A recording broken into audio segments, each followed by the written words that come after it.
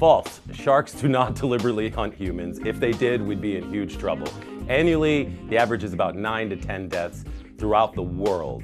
So there are more people that fall out of chairs and die annually than are killed by sharks. But in comparison, we kill 70 to 100 million sharks estimated every year.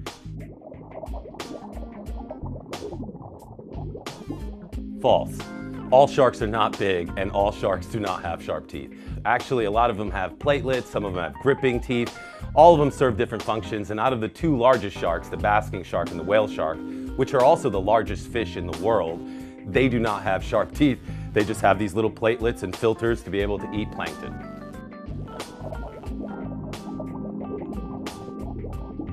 Sharks can get cancer. And they've just recently been able to discover this and taken tissue samples where they were shocked to find out that these animals do get cancers. And they actually hold a lot of toxic value inside of their flesh. These animals have huge levels of mercury, can mess with reproduction, can mess with all kinds of genetics inside of your body.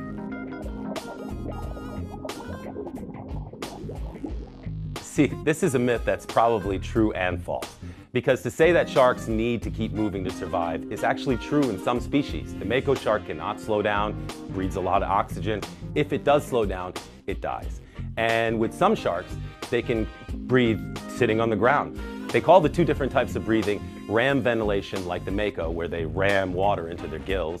And the other type of respiration is just pumping water through their gills. False. Saying that sharks are too dangerous to be in the ocean is like saying birds are too dangerous to be in the sky. That's where they belong and that's where they're meant to be. There's a reason that everything exists and sharks play a critical role in the ecosystem and that's where they should stay.